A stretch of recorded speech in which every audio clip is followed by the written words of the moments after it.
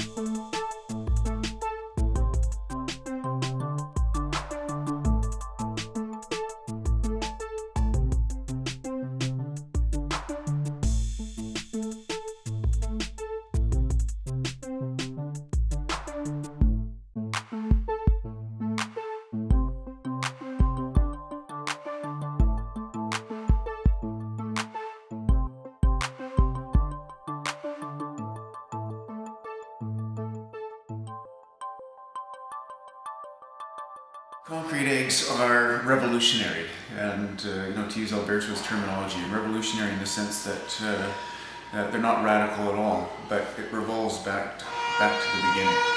Uh, this is not a new thing. It's uh, it's a very old and traditional thing. It's stainless steel tanks that are new.